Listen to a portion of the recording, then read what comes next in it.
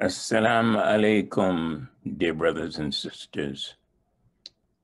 Welcome to Masjid Al Rasul's 10 Nights of Muharram 2022 program. We started the program with Quran recitation. Next, we will invite Syed Mansoor Ali Rizvi to present the Muharram lecture for tonight. Then we will have, Matam, a few announcements and close with this ziyarat. Now, let's welcome Syed Mansoor Ali Rizvi to present the Muharram lecture with a loud salawat. Allahumma oh, salli ala Muhammad wa Muhammad. رب اشرح لي صدري ويسر لي امري واحلل عقدة من لساني يفقه قولي Brothers and sisters in Iman, Assalamu alaikum jami'an wa rahmatullahi wa barakatuh. I begin in the name of Allah, the most compassionate, the most merciful. All praise belongs to Him, one who creates, but is not created, the one who sees, but is unseen, the one who gives and takes life, but is ever living, and the one who gave us the best example for us to follow, Muhammad sallallahu alayhi wa alihi wa sallam. اللهم صل على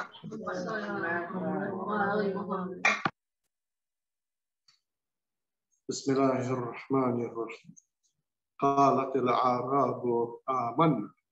قل لم تؤمنوا ولكن قولوا أسلمنا ولما يدخل الإيمان في قلوبكم.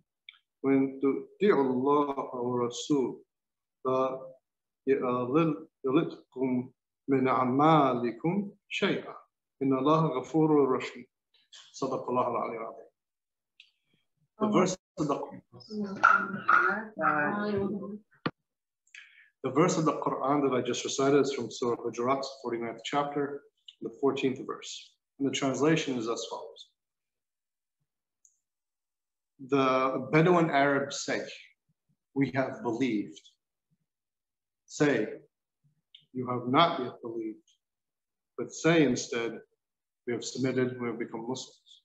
For faith has not yet entered your hearts. And if you obey Allah and His Messenger, He will not deprive from you your deeds of anything. Indeed, Allah is forgiving and merciful. Sadaqallah. If someone was to ask you who you are or what are you, how would you answer? Would we say, I'm a doctor, I'm an engineer, I'm a lawyer, I'm a techie, I'm a plumber? Or would we say, I'm American, I'm Iraqi, I'm Pakistani, I'm a Khoja, or I'm black, I'm white, I'm Latino?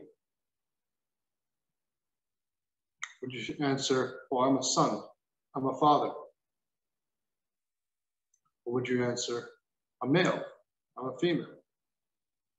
Would you answer, I'm a human? Or if there's any jinn listening, uh, you'd answer, you're a jinn. Would you identify yourself and answer, oh, I'm a, I'm a vegan, I'm a vegetarian, I'm a herbivore, I'm an omnivore? Would you identify or answer the question as capitalist, socialist, communist? Or would you answer, well, I'm, I'm Muslim, or I'm Shia, or I'm atheist? So when we look at that verse, one of the things that should be a point of reflection is that it's, it's one thing to identify ourselves as something. It's another thing to live up to that identity. So here, for example, the Bedouin Arabs at the time were eager to call themselves believers. But is telling the Prophet to tell them, no, no, not exactly. Not believers, at least not yet. You can say that you're submitted or you're Muslims verbally. But having faith and calling yourselves a mu'min is a different thing in a different category. So similarly, identities place a crucial part in our lives. And we may have multiple identities. Like some of the theoretical questions I've asked are ways that people identify themselves. So people can, and as a primary identity, I'm talking about. People may initially identify themselves based on their profession, or ethnicity, or their family background, or what fraternity they belong. You know, there's different ways that people can go about identifying themselves.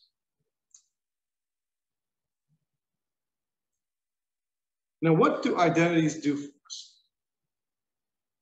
Identities give us our priorities, our boundaries, and a sense of belonging to those who may share that particular identity.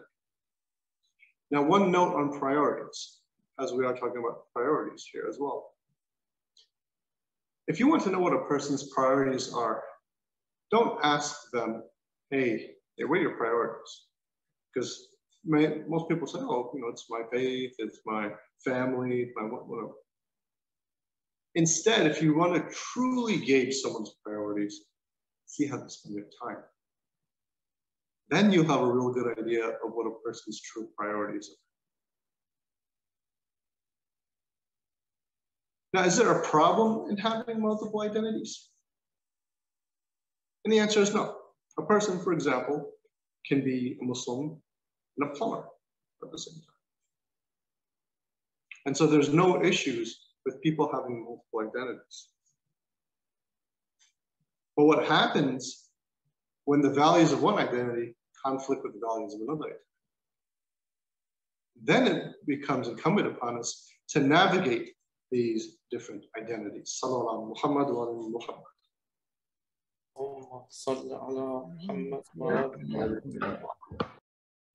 Now, one book recommendation that I'd like to give when it comes to this topic, and this is a generally very good book that I recommend people reading. This is called The Seven Habits of Highly Effective People by Dr. Stephen Covey. And at the end of his book, he has a section devoted to what he calls centers.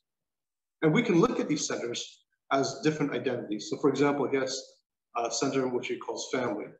He has a center that related to a person's job. He even has a center related to a person's religious identity. Now, Dr. Covey himself, the late Dr. Covey, was a practicing Mormon, and he was a religious person. And for him, taking a God centric approach was key and very important. And if you get a chance, any person who appreciates values, religious values, practical religious values will definitely appreciate this book, especially the last kind of so how do you go about navigating these different identities? The way we go, one of the ways we go about managing these multiple identities is taking a look at which identities are the most important. And so, for example, the identity which is given to us by wa ta'ala, in which we have to actively do something. So for example, for us, most of us listening today, that would be a Muslim or particular Shias. And so there are certain values that are attached when a person chooses to have that identity. And is it, and it gives us a roadmap as to what to do when, say, another identity clashes with another identity. I want to use an extreme example.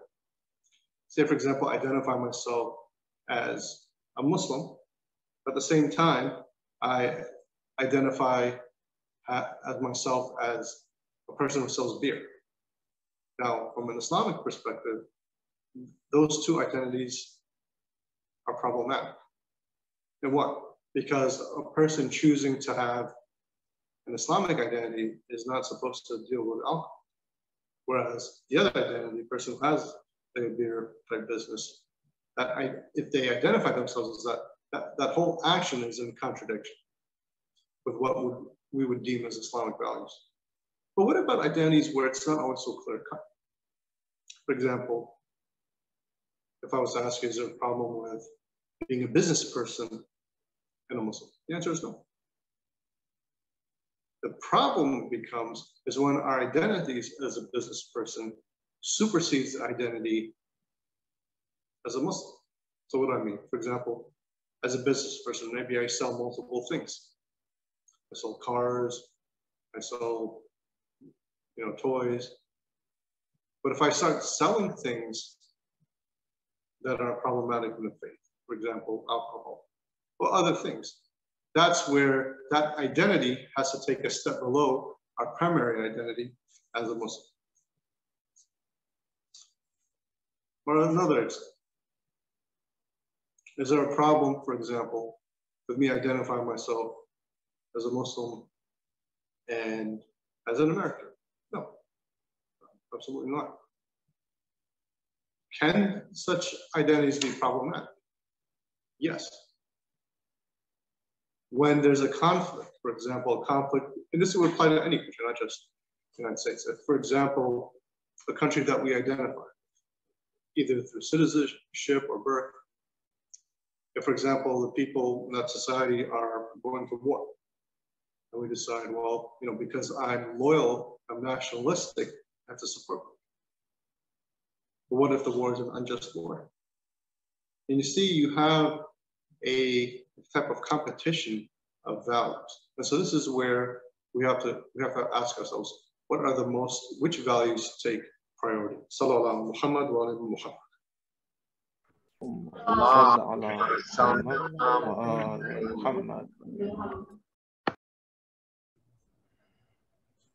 And so it also helps to keep in mind why a person chooses to have a particular identity. For many people, it gives them a sense of belonging. And this is something that many Islamic community centers have to pay attention to. If, for example, a person identifies as this and goes to a place where other people identify as this, but they're somehow seen as lesser than, And that person will not feel that sense of camaraderie or sense of belonging in that, that particular identity. So what happens next? That person will go somewhere else to seek another identity, another sense of belonging. And for example, in colleges, when people are new to college, why do, why do many students join fraternities? Because it provides an identity. It's a source of identifying oneself. Now, I'm not saying, you know, joining a fraternity itself, like unilaterally is problematic, but there's certainly, for those of us who are going to college, there's certainly certain things that are problematic when a person uh, joins a fraternity, certain things that go on that person should be aware of. identity, for example, is also a result of something that we actively choose. And that's a necessity for us, like our work, our business. And this is why it's important if we want to identify ourselves based on our career, whatever business we choose, that the values in that career do not in any way, shape, or form supersede the values of what it means to be a Muslim and connecting ourselves to Allah subhanahu wa ta'ala. Sallallahu Muhammad wa Muhammad.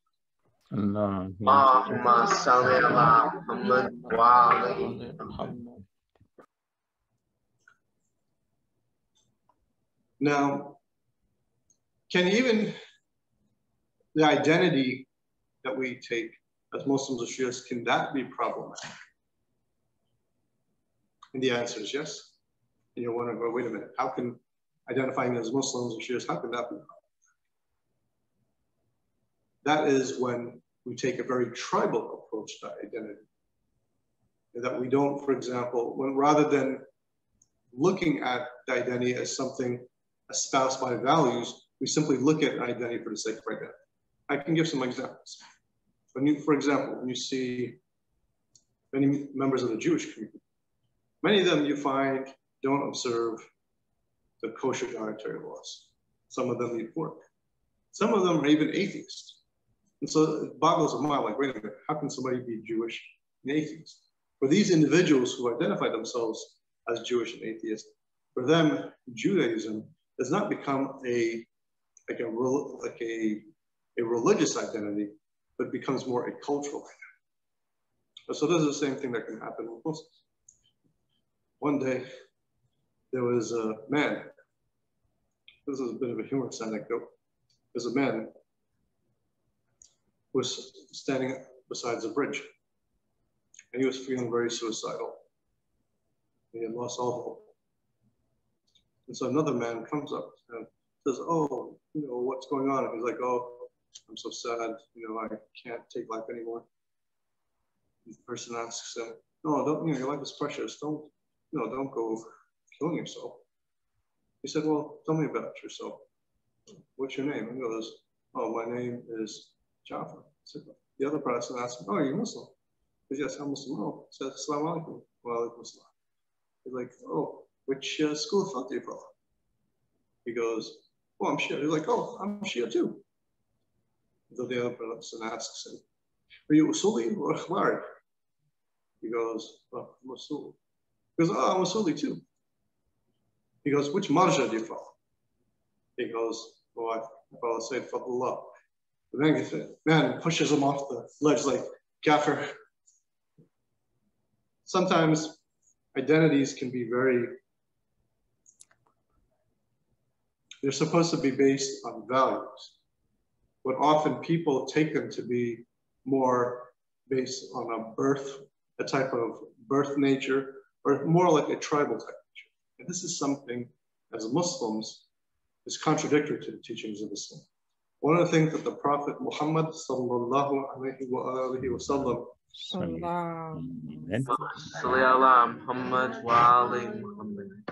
did his utmost best to root out was tribalism.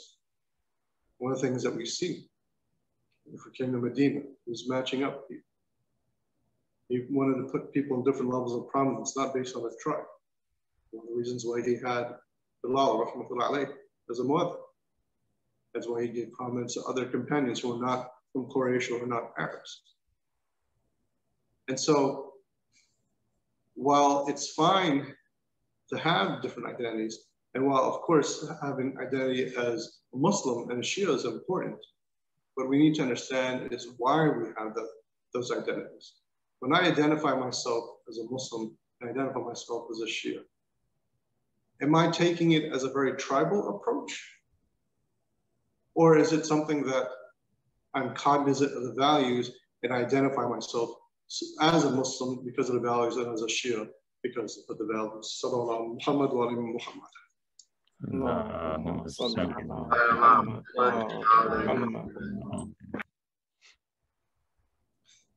Now, as we are gathered here in the, the Ayam of Hussein, I remember the sacrifice of his friends, his family members.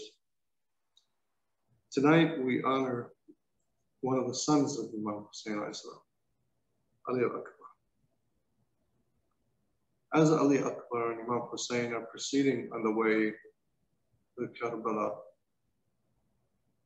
Imam Hussein tells Ali Akbar, I have a dream I'm going to share with you. And the dream was, as he's telling his son, our caravan is heading towards death. And Ali Akbar asked him,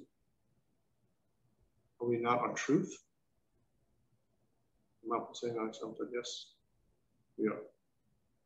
And Ali Akbar responded, Then we do not care whether we meet death or death meets us. On the day of Ashura, word state, Imam Hussein had Ali Akbar give the other some say that his voice reminded, the voice of Ali Akbar reminded Imam Hussein of his grandfather, that in both his physical resemblance and his voice, he resembled the Prophet Muhammad.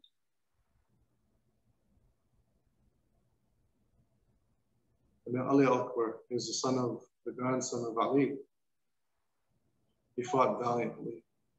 When he would fight, he would come back to his father after fighting the battle and say, Father, suffer from thirst.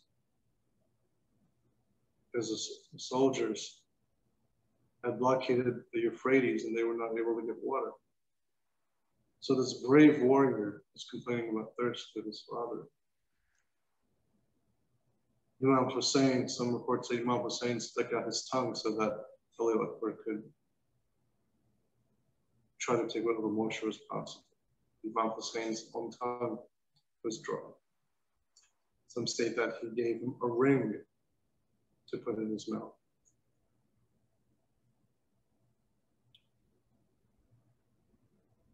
And then Ali Akbar went to go fight. Imam Hussein's crying, saying, how quickly shall you meet your grandfather who will give you a drink, after which you shall never suffer of thirst? Ali fought valiantly, but he was finally killed. Now, Ali Akbar is able to have his thirst quenched by his great grandfather, Prophet Muhammad sallallahu alayhi wa sallam. Inna lillah wa inna ilayhi raji'un. السلام على الحسين وعلى علي بن الحسين وعلى أولاد الحسين وعلى أصحاب الحسين السلام عليكم جميعا ورحمة الله وبركاته صلى الله على محمد وعلى محمد اللهم صل على محمد وعلى محمد Thank you, Syed Mansoor, for your inspiring Muharram lecture for tonight. Now, let us welcome Brother Abdul Rahim to recite a Noha and Matam during these 10 nights of Muharram program with a loud salawat. Allahumma salli ala Muhammad wa ali Muhammad. أعظم الله أجورنا وأجوركم بمصابنا بالحسين salam. May Allah increase our and your rewards for the mourning the tragedy of Imam al-Hussein alayhi salam. From Karbala, Karbala, Karbala to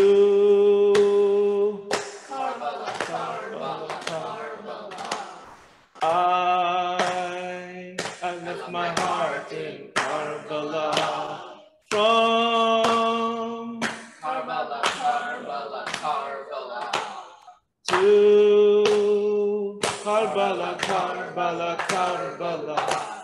I, I left my heart in Karbala. The luminous moon lighting the way, the rising sun that brightens the day. Heaven without you would be in vain. You're the heaven in Karbala. No visitors offered you the hand. Enemies will never understand. How can the water lose to the sand? How can the thirst well in Karbala? Ah, heaven is open, Ya Hussein. Ah, angels descending, Ya Hussein. Ah, they are reciting Karbala. From Karbala, Karbala, Karbala. To Karbala, Karbala, Karbala. I, I left my heart in Karbala. From Karbala, Karbala, Karbala Karbala, Karbala, Karbala. I, I left my heart in Karbala. The hand of God that nurtures the young. Speaking for Allah, you were the tongue. Separating the right from the wrong. Elevated in Karbala. Ship that sails swiftly through the waves, and whoever boards your ship is safe, protected from the punishment of the grave. Whoever mourned you, Karbala, when will we meet again, Ya Hussein? When under your dome, when I grieve again, from just when I walk the Karbala. When, when will we meet again, Ya Hussein? When, under your dome, when I grieve again. From Najaf, when I walk to Karbala. From Karbala, Karbala, Karbala. To Karbala, Karbala, Karbala. I, I left my heart in Karbala. From Karbala, Karbala, Karbala. To Karbala, Karbala, Karbala. I, I left my heart in Karbala. اللهم صل على محمد وآل محمد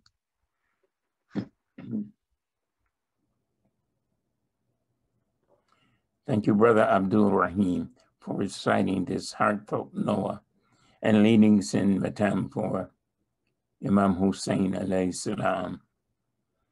I would like to also thank Allah subhanahu wa ta'ala and thank all of you for your blessed participation in this year's Masjid al Rasul Houston Muharram program. I pray that during these 10 special nights, we will continue to learn new lessons from the events of Karbala, and it will help us enhance our spiritual connection with Allah subhanahu wa ta'ala. Very briefly, before we close with the Ziyarat, I would like to invite all of you to our weekly programs. On Thursdays, we have a weekly Dua Kumayl program, English program via Zoom at 9 Central Time. We also provide brothers the opportunity to sign up to recite Dua Kumayl in English. Look for that sign up sheet on Thursdays, provided as a link in the Zoom chat. On Fridays, we perform the Juma prayer at Masjid Al Rasul in the Fifth Ward, Houston at 1.30 p.m., led by Syed Mansoor Ali Rizvi. We also have our monthly share meal program where we share a cooked meal with the local community members of the Fifth Ward. We would also like to invite you to our monthly cemetery program at Paradise Cemetery, where we pray for the deceased Mukminin, sweep the grave sites, apply incense and zamzam water for the graves. The sisters also have a weekly spiritual growth program on Sundays. We will also have periodic celebrations and commemoration programs at Masjid Al Rasul, Fifth Ward, Houston, which we will announce via email as these programs are planned. Our next program at Masjid Al Rasul is scheduled for August 27th, a monthly fan, family dinner circle where we discuss various topics as a community.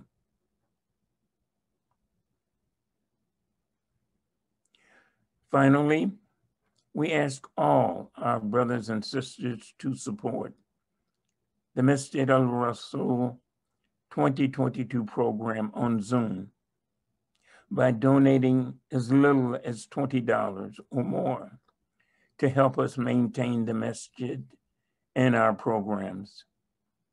Please click on the corresponding night and choose from the amounts listed. We also have been blessed with the authorization of Ayatollah Sistani to receive khums from the Mukminin. We are authorized to utilize half of the Sam Imam khums for Masjid Al Rasul, Fifth Ward, Houston, Texas. I will leave the sponsor a Muharram night PayPal link and Khums donation link in the chat and give you a couple of minutes to utilize the link before we close with be small, but listen to our call. Come and join in our pain. our beloved. Our small, but listen to our call. Come and join in our pain for our beloved. Hussein, Hussein,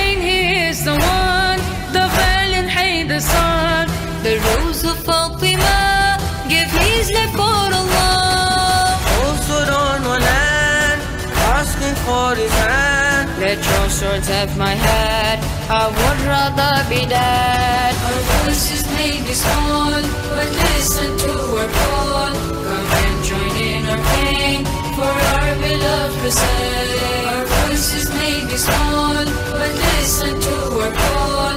Come and join in our pain for our beloved Hussein. Hussein, he takes his family away from the city, away from politics and all the dirty tricks. They tricks. chase him down, you see, and his men seventy. Take them to Karbala to make them shuhada. Our voices may be small, but listen to our call. Come and join in our pain for our beloved Hussein. Our voices may be small, but listen to our call. Hussein. On reaching Karbala, they block him from water. Mockingly they stare with arrows in the air. They take Abbas's hand and Akbar to the sand. The thirst of young Asghar, so quenched by his murder.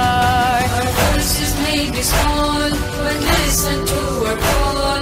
Come and join in our pain for our beloved Hussein.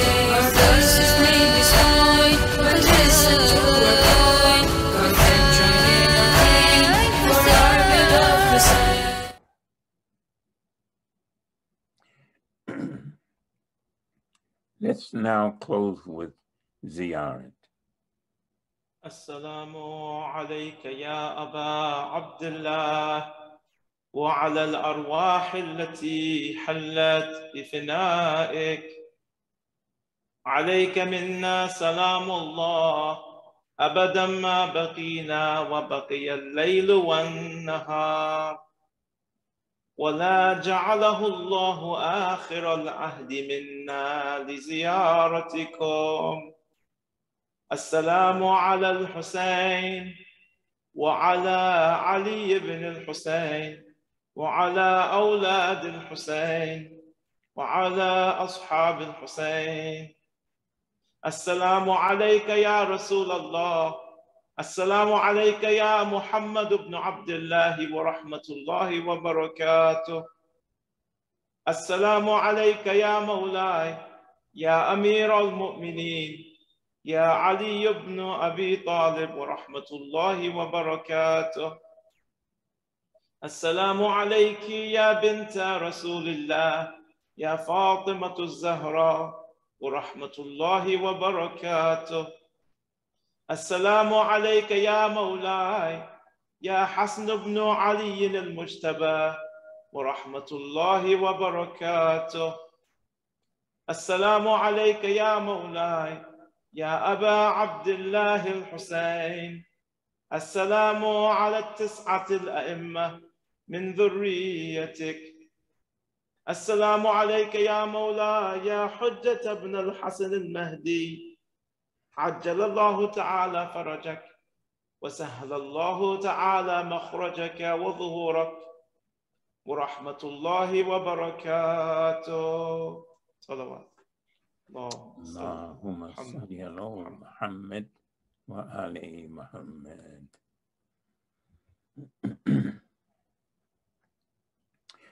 Again, thank you so much for joining us in the Masjid al Rasul 10 Nights of Muharram program.